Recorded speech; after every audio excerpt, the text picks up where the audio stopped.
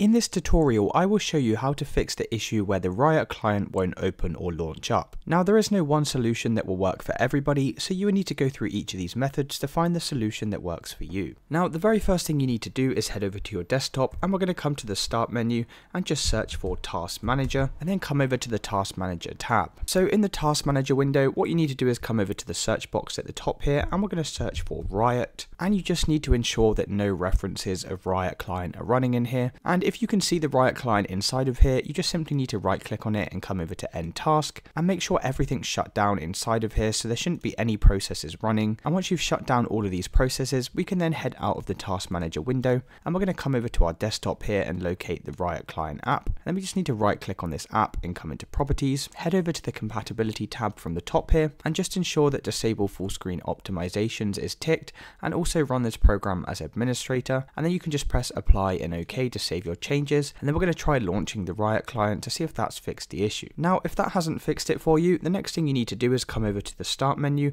and we're going to search for Windows Defender and then just come over to the Windows Defender firewall here, select allow an app or feature through Windows Defender firewall on the left and then press this change settings button at the top here and you need to ensure from this list of applications that we have our Riot client in here. So as you can see down here, my Riot client's already added to this list of exceptions and you just need to make sure both private and public are ticked over here. Now if you don't have Riot client within this list, say for instance if I just remove this for a second, then what you'll need to do is come over to allow another app, head over to browse and then we need to locate the Riot client from our list of applications. Now if you're not sure where the Riot client is saved, then simple way to find it is just to right click on the Riot client on your desktop, come into open file location, and then we can copy all of this text at the top of this window here we can come back into this folder and then just paste all of this text we just copied and hit enter. Then you just need to double click on the Riot Client Services.exe file, click on add, and as you can see that's now added the Riot client to the list. Once again just make sure both private and public are ticked here and then we can hit OK. You can then close out of this window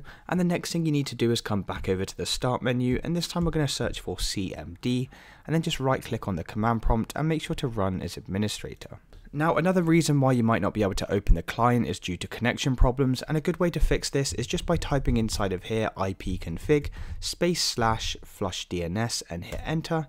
and then also type in netsh space winsock space reset and hit enter and this is just going to clear all of our network cache and then we can close out of this window and you can try relaunching the Riot client and that should have now fixed any opening issues you were experiencing. If you still can't open the Riot client then please drop a comment below and I'll try my best to assist you. If this video did help you then please drop a like and subscribe. Until next time.